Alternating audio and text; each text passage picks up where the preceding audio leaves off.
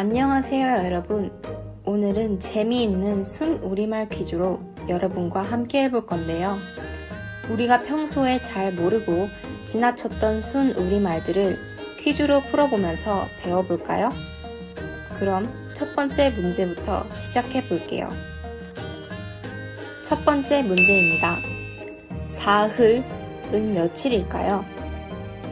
1번 2일, 2번 3일, 3번 4일, 4번 5일. 정답은 2번 3일입니다.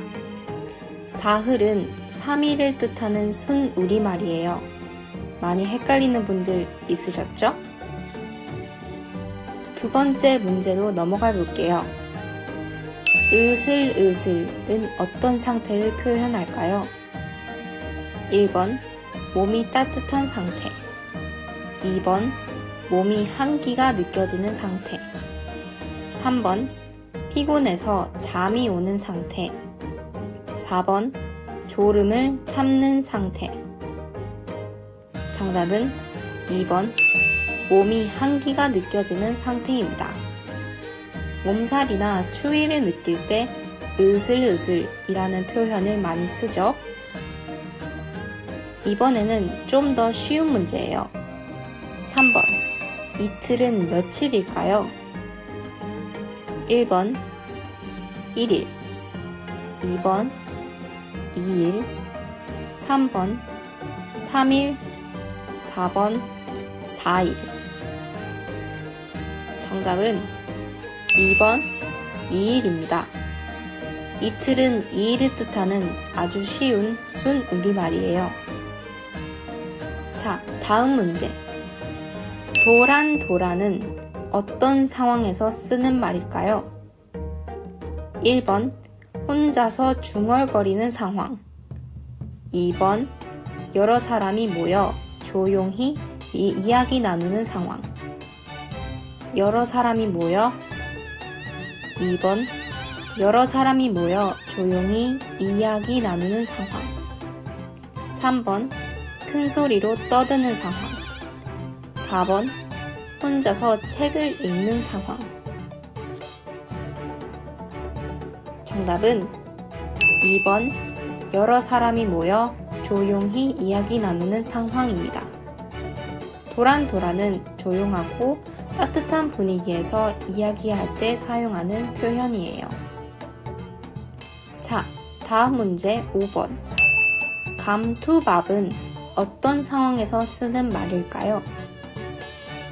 1번 왕이 먹던 밥 2번 모자처럼 생긴 밥 3번 먹을 것이 넉넉하지 않던 시절에 소박하게 차린 밥 4번 대접을 많이 받는 사람에게 차려주는 밥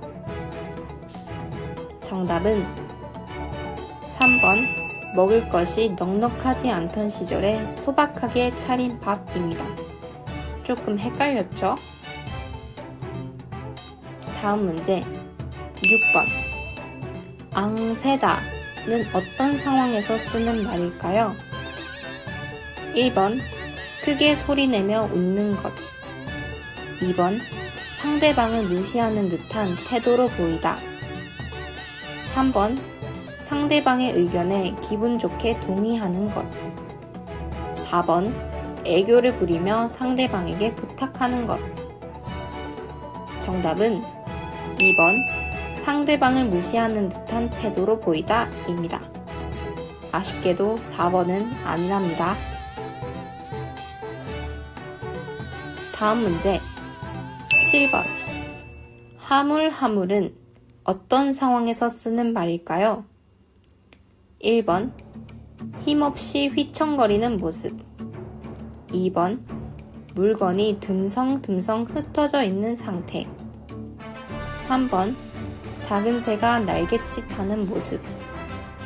4번.